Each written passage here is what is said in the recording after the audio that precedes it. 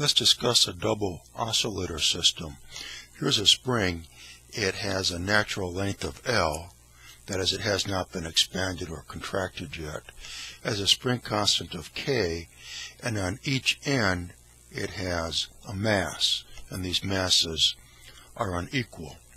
So we're going to exert a force on each ends until we until the spring now is compressed from its value of capital L to this length of small l. And we're doing it in such a way that when we're compressing the spring, we're not shifting it to the left or to the right. So that means then that the force that we're exerting on block 1, moving it this way, has to equal the force that we're exerting on block 2, moving it in this direction. If, if F1 was greater than F2, then we'd be just shifting everything to the right as we're trying to compress the spring. Likewise, if F2 was greater than F1, so we'd be shifting it to the left. So we're not doing it like that. We're just applying equal force on F1 and F2 so that while we're compressing the spring, there's no translational motion. So F1 and F2, they're equal in magnitude, they're opposite in direction. That means then that the net external force that we're applying to this system is zero. F1 plus F2 add up to zero. And whenever we have a mechanical situation where the net external force applied to it is zero, there's no change in the momentum of the system. Well here, before we started compressing the spring, this was just sitting here. So it had a momentum of zero. Then that means while we're compressing it, the total momentum is zero. Then when we release it, there still is no net external force being applied to this system. So even as the blocks are moving back and forth, there still is no total momentum in that system. So what we're saying then is that the momentum of block 1 plus the momentum of block 2 is zero. So of course that means that these blocks are moving with velocities of opposite directions. Also from this equation we can say that, well, V1, that's magnitude will equal minus M2 divided by m1 times v2. But these blocks are always moving in opposite directions, so if we have it like this,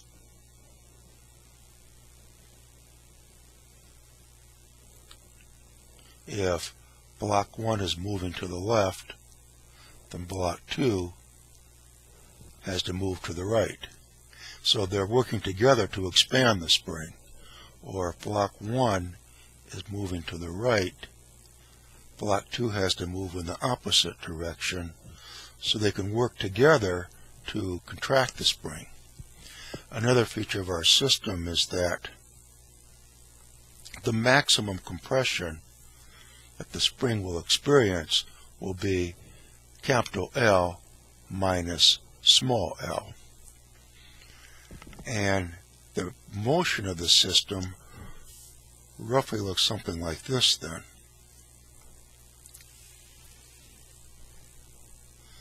Here we have the spring. It has its length of capital L. We compressed it together, these two blocks, so now it has a length of small l. Then we release it. So block 1, of course, moves in this direction. Block 2 moves in this direction. So as they're moving apart, the spring now is going to be expanding. At some point in time, it's going to have its length again of capital L. While that happens, though, of course, the blocks keep moving apart until the spring is maximally extended. Then they're going to start moving together again. And as the blocks move together, once again at some point in time, the spring is going to have its value of capital L, but these blocks keep moving together until it's compressed to its the value of small l, then they're going to move apart again. What we need to solve in this problem is what is the velocity, what is the magnitude of the velocity of block 1 and block 2 at these points in time when the length of the spring is equal to capital L, as it is here and again here. That's what we have to solve for this problem. Now, remember, I think it was video number 6, when we considered a spring that had a single block attached to it, as we have here, then we attach a block to it, pull it down and release it so that it's going moving up and down.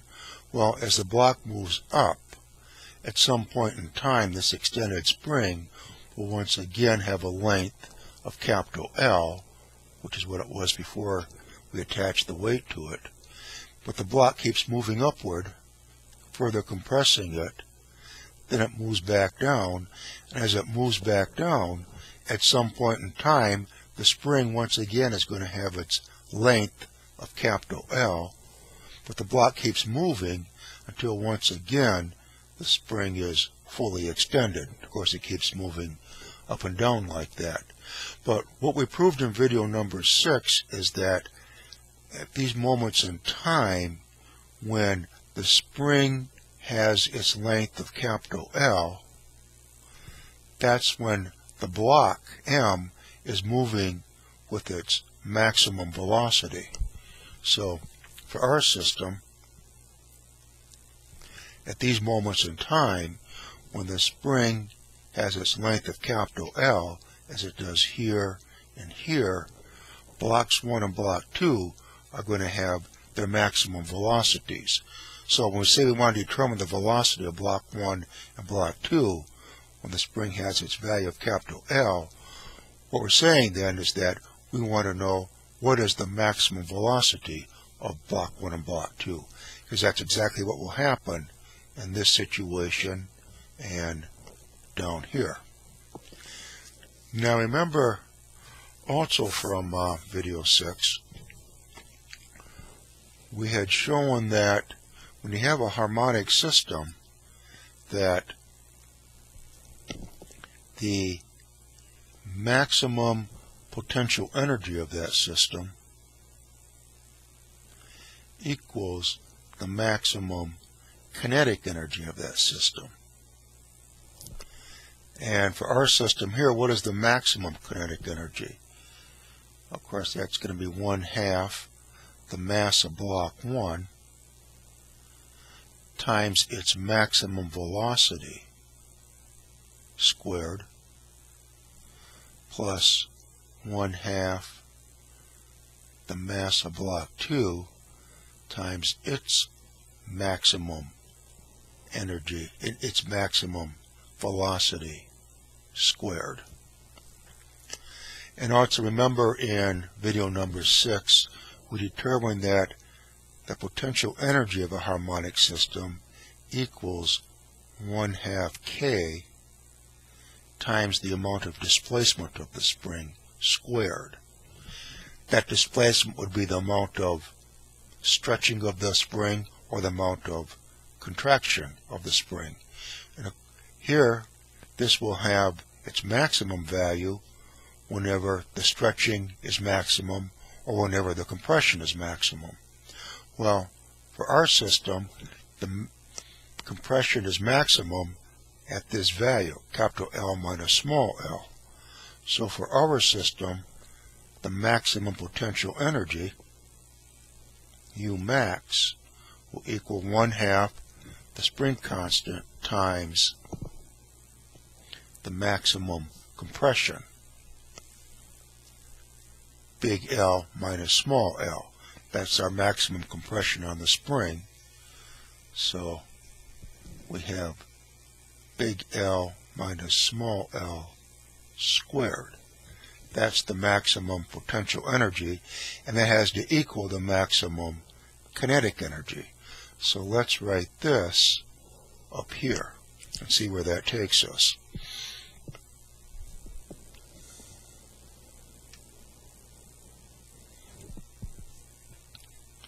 So we have one half, it's one half k, and we have capital L minus small l squared.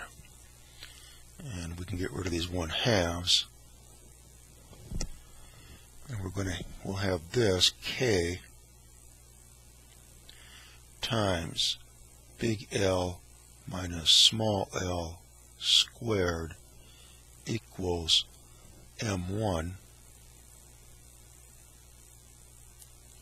times v1, the maximum velocity of block 1 squared. Well, the velocity of block 1 is this. So its maximum velocity, v1 max, will equal this. And v1 squared is just going to be this squared, so the minus sign goes away. And we have this. So here then, for v1 maximum squared, we can put this in.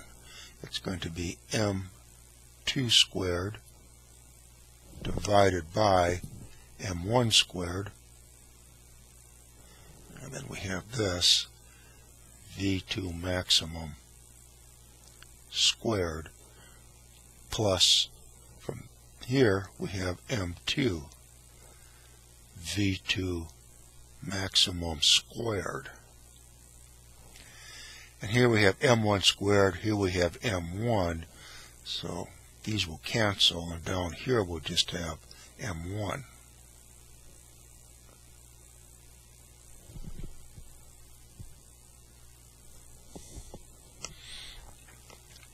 Okay, so here we had V1 maximum squared.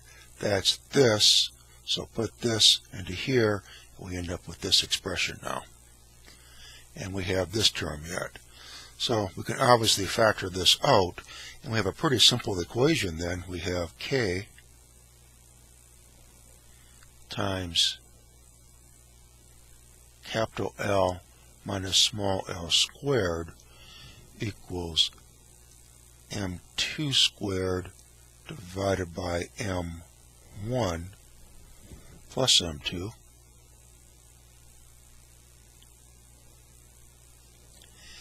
v2 maximum squared. And this, looks like we can rewrite that easily enough. That would be m2 squared plus m1 times m2 divided by m1 times v2 maximum squared equals this. So this equals this. So V2 maximum squared, we can keep it in better focus now, this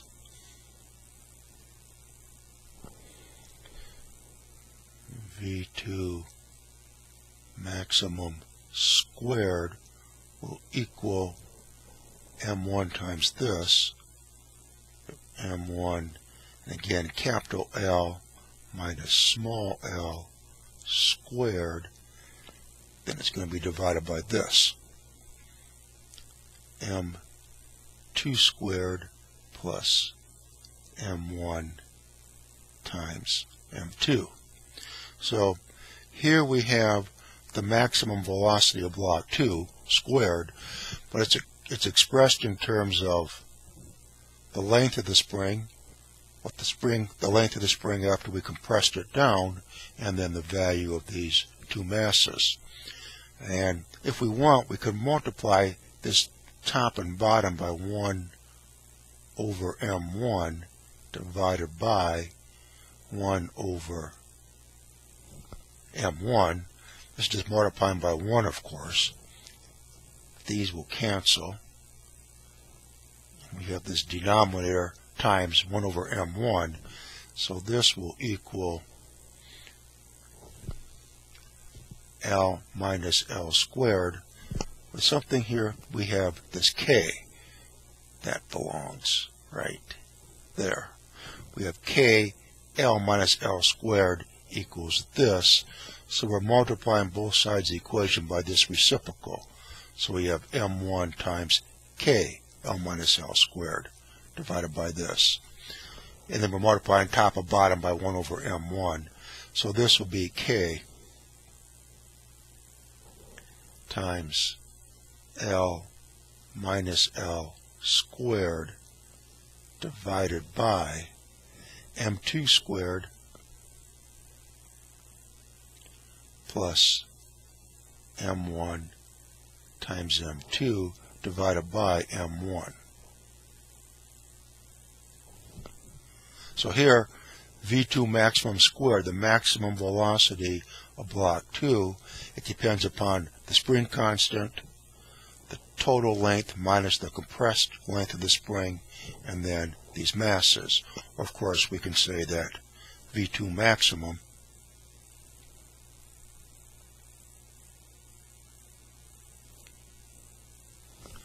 that will equal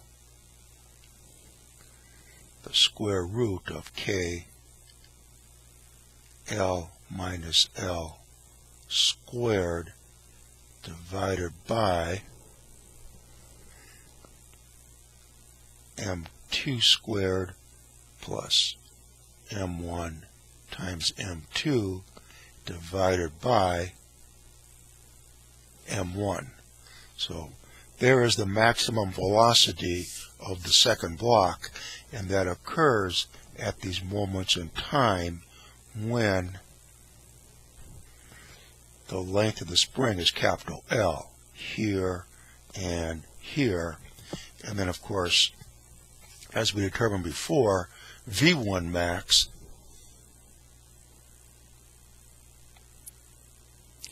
that's just minus m2 divided by m1 times the maximum velocity v2, where that's our final expression for it, the, the velocity of block 2, and block 1, that's just minus m2 over m1 times that. And the minus sign, of course, indicates that these blocks are always moving in opposite directions. So that's the problem that we wanted to solve for this video. And again, we made use of um, some of our principles that we had derived in video number six. What we're going to do in the next video is consider the same double oscillation system. What we want to know is what is the natural frequency of oscillation for these two blocks? We know that if we have a single spring,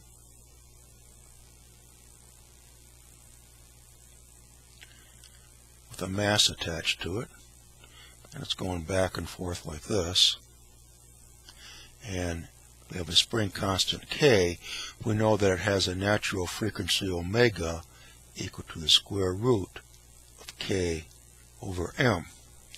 Well, this spring, that has a spring constant of K, but there's two masses attached to it, not just one, and these masses are also unequal. So, for our double oscillator system, what would be its natural frequency of the motion of these two blocks? That is what we will solve in the next video. I think that will be video number 12. And again, um, to remind you, the playlist for this um, series, Analytical Mechanics, along with all the other playlists, is at the website, digital-university.org.